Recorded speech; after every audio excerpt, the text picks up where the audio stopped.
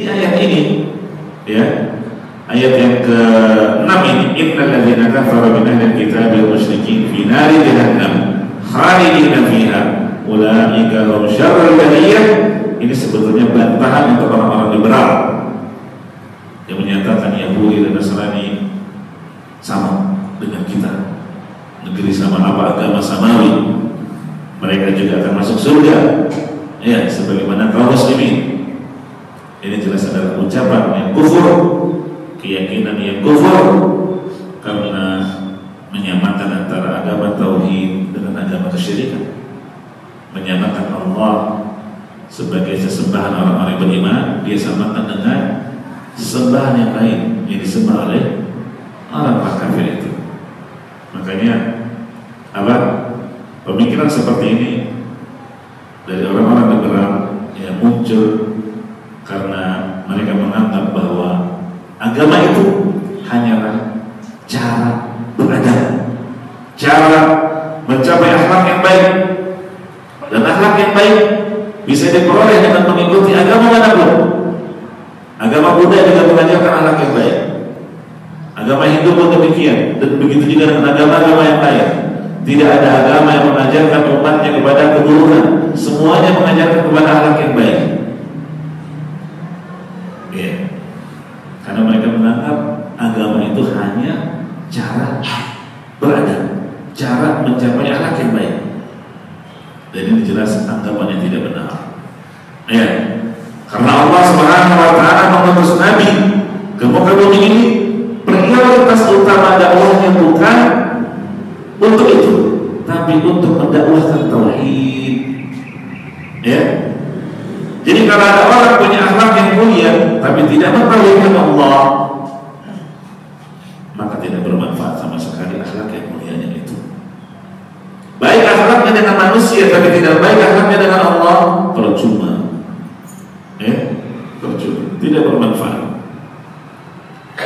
Disebutkan dalam sebuah riwayat ada Ibnu Jud'an dalam hadis yang sahih ketika Aisyah bertanya kepada Nabi SAW Ya Rasulullah Wahai Rasulullah Ibnu Jud'an Kana fil jahiliyah Yasilur rahim Wa yut'imul miskin Fahadzaka nafi'uhu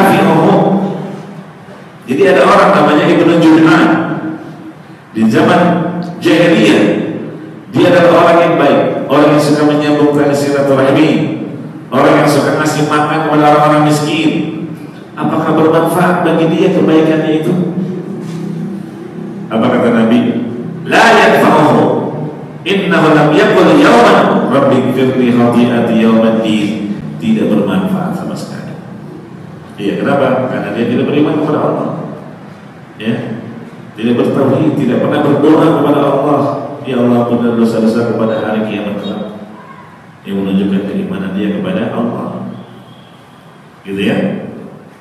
Nah, Begitu juga apa yang terjadi dengan paman Nabi Yaitu Abu Talib Abu Talib Padahal uh, Siapa orang yang lebih hebat dari Abu Talib dalam membela Islam ya?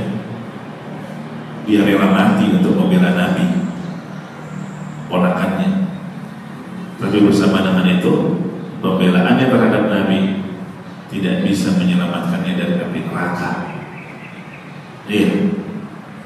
Kenapa? Karena kesyirikan yang dia lakukan. Tidak beriman. Enggan mengucapkan kalimat tauhid la ilaha illallah ya sampai Abu Talib itu di masa hidupnya pernah menyenandungkan bait syair. Walaqad alimtu bi anna dina muhammadin min khairi adyanil bariyati dina. Laula al-malamatu aw khidar masabbatin lawajadtani samhan bidzaka mubina.